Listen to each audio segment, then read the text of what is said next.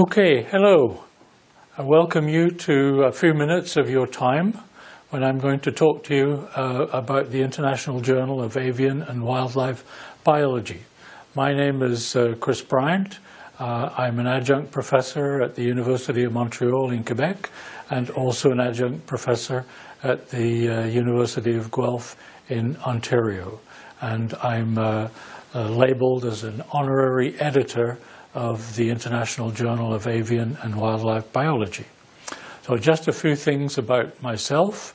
Um, I started my university uh, career uh, at the University of Waterloo in 1970, and that was after having done a, my PhD, which was based on research of uh, agricultural uh, development uh, in the peri-urban area around Paris in France.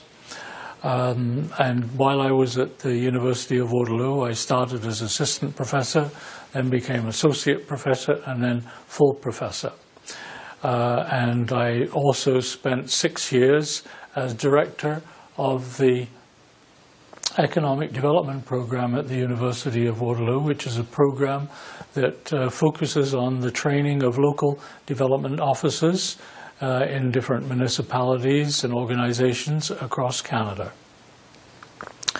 Uh, then I moved to Montreal in Quebec to the Université de Montréal, uh, where I became a full professor in, in geography. And uh, uh, I, I, went to, stayed there until 2014. And then I uh, retired uh, when I was uh, 2014. So um, I'm now an adjunct professor, as I mentioned earlier, both at the University of uh, Montreal and also at the uh, University of Guelph.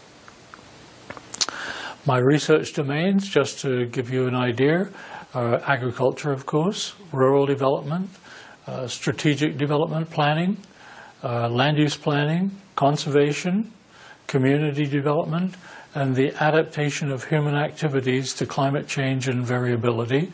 And most of the time it has had to do with uh, agricultural adaptation to climate change and variability. So I just want to make a few comments on the International Journal of Avian and Wildlife uh, Biology. Um, as you probably already know, the IJAWB is a relatively recent journal, and despite that, it is becoming rapidly recognized by many researchers um, in many different countries. Uh, the journal has published articles of varying lengths, uh, basically on different domains of research related to avian and wildlife biology.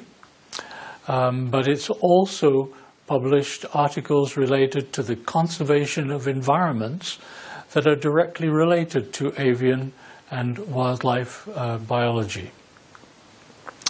And I would say just as important, uh, these published articles on how the various domains of avian and wildlife bi biology can be managed and conserved by different forms of development planning.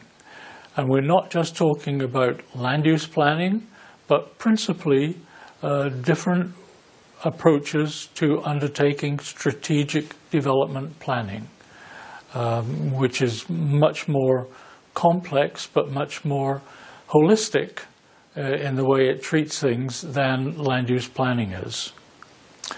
So just a few words on conservation and avian and wildlife biology. Um, conservation of different types of landscapes uh, and the support they provide to different forms of avian and wildlife bio biology can be directly incorporated into strategic development planning, SDP. So SDP is not just about economic and social development, but we can use it to look at and plan for anything that can be related to the environment and therefore avian and wildlife biology. Uh, this is increasingly the case as citizens become more and more directly involved in strategic development planning. Um, one of the interesting things about my experiences in Canada is that since the late 1980s, uh, there is an increasingly large number of communities, territories, counties, regions that have undertaken strategic development planning using um, citizen teams to actually manage the whole process of, of reflection uh, in terms of strategic development planning, um, and also for them to become directly involved in identifying how we could go about, for instance, um, conserving the environment and therefore avian and wildlife biology.